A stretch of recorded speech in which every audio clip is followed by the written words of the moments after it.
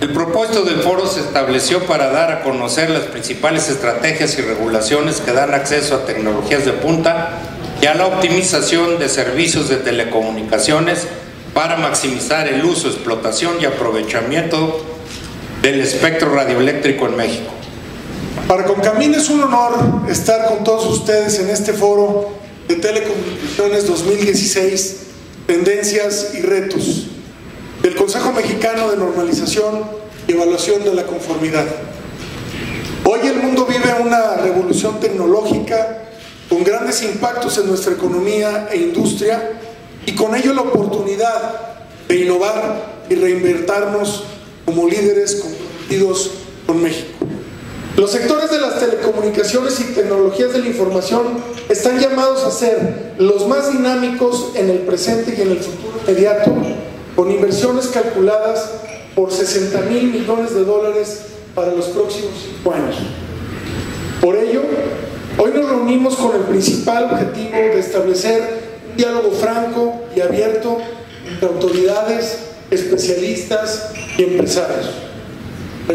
En la misma línea de promover el despliegue de infraestructura de telecomunicaciones y de reducir los costos de los servicios para los consumidores, la SCT en coordinación con el IFT está impulsando este proyecto de la red compartida. La red compartida batirá los costos de inversión en infraestructura, evita la inversión eh, propia en infraestructura propia y promueve el uso compartido, es decir, promueve mayor cobertura, más infraestructura de calidad, pero también un uso más eficiente de esa infraestructura, porque al final, por supuesto, todo despliegue de infraestructura lo pagamos los consumidores a través de nuestras facturas de servicios. ¿De qué hablamos cuando hablamos de telecomunicaciones? Antes hablábamos solo de la forma de comunicar a una persona con otra. Ahora estamos muy lejos de eso en tan solo muy poquito tiempo. Cuando hablamos de telecomunicaciones, hablamos de infraestructura, hablamos de espectro radioeléctrico, hablamos de los servicios mismos de comunicar una persona con otra, pero hoy, como nunca antes, hablamos básicamente de todas las industrias, de toda la producción de bienes y servicios.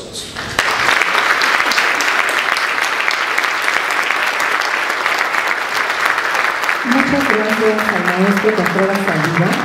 Le pido por favor permanecer en el estrado para justamente dar paso a la primera presentación magistral del día que usted nos hará favor de exponer y cuyo tema es Cuarta Revolución Industrial, rol del IFT. Modera esta presentación el ingeniero Rafael Nava Uribe, presidente del Consejo Mexicano de Normalización y Evaluación de la Conformidad, COMENOR. Cuanto a penetración de la banda ancha fija, en México apenas tenemos 45 suscripciones por cada 100 habitantes. Ahí podrán ver cómo están otros países y se ve claramente que México tiene un área de oportunidad para aumentar la penetración de estos servicios de banda ancha fija. La siguiente, por favor. En cuanto a penetración de banda ancha móvil, las cosas no se ven mejores. Ahí apenas tenemos 53 suscripciones por cada 100 habitantes. A diferencia del anterior que era por hogares, aquí sí el dispositivo móvil es personal y entonces la contabilización se hace normalmente por habitante usuario. Eh, la siguiente. Como ustedes seguramente tendrán presente, tanto la Constitución como el Plan Nacional de Desarrollo establecen objetivos y metas concretas respecto al acceso a la banda ancha. Concretamente, el artículo 6 de la Constitución Política de los Estados Unidos Mexicanos establece que es obligación del Estado garantizar el derecho de las tecnologías de la información y el acceso a Internet. Este anhelo constitucional fue recogido también en el Plan Nacional de Desarrollo 2013-2018 y en el objetivo 4.5 establece que es necesario democratizar el acceso a servicios de telecomunicaciones. No hay duda que en estos eventos son grandes oportunidades para poder conocer lo que está haciendo el de enfrente, para poder platicar, para poder escuchar y saber qué es lo que piensa, qué es lo que hace y es una gran fuente de retroalimentación para poder saber qué vamos a hacer, cuáles son los retos y cuáles son las tendencias que estamos siguiendo en este y en otros sectores. Por eso una gran felicitación por esta iniciativa. El foro de telecomunicaciones tiene como título Tendencias y retos y este panel se refiere específicamente a la infraestructura de telecomunicaciones. La pregunta es, ¿la infraestructura de telecomunicaciones es una tendencia o es un reto?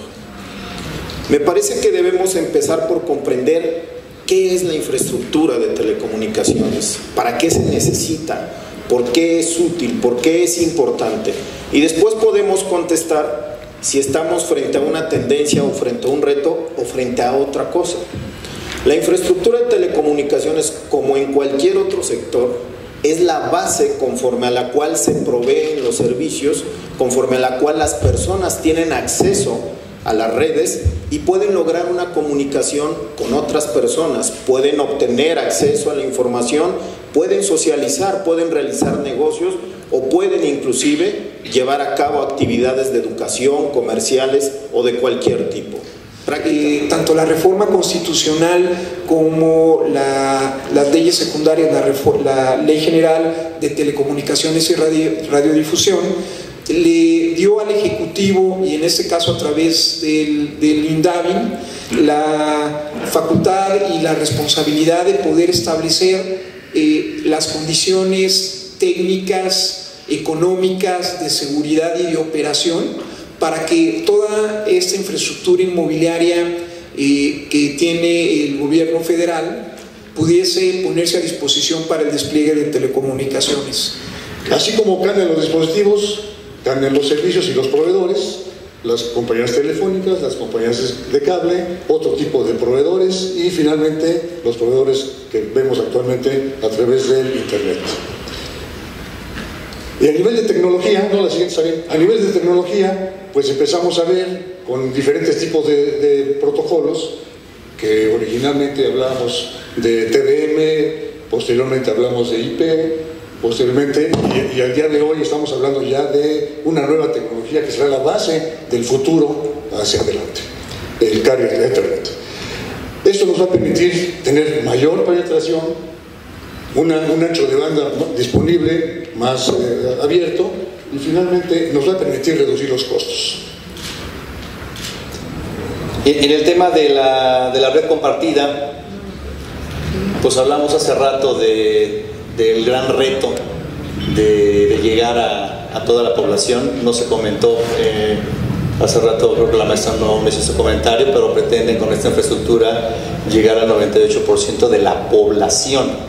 Quiere decir que si andábamos en, la mitad, pues vamos a crecer cerca del, doble y en infraestructura pues es mucho más porque llegar a la infraestructura que comento ahorita, comentaba hace rato la parte CFE de larga distancia, llega a las principales ciudades, pero imagínense hacer las rutas ahora hacia los 20.000 eh, inmuebles que están comentando, a las universidades, a las escuelas, eh, esto se, se, multiplica, como decía Julio, 10 veces la, la, infraestructura. Y el reto bastante grande está en poder transmitir toda esta, todas estas señales que usamos hoy en día y sería imposible sin, sin esta fibra oscura que está reservada o guardada como todo operador tiene y que CFE tiene. Y por eso en la red compartida, eh, por, mandato ya de la Constitución y ya viene la licitación, el, operador que gane en esta, eh, en esta infraestructura, pues va a tomar este par de hilos, el cual podrá iluminar y darle la capacidad necesaria para poder soportar pues toda la infraestructura que hemos hablado aquí en el transcurso de, del día.